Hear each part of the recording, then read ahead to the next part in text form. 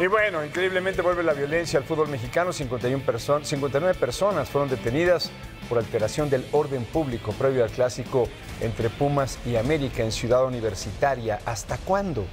¿Hasta cuándo van a poder aplicar la ley como debe ser? Hay una ley ya, también de la Asamblea del Distrito Federal. Increíble. Bueno, esto no pasa y no termina porque no ponen un fin a esto. Nadie se involucra y nadie se hace responsable.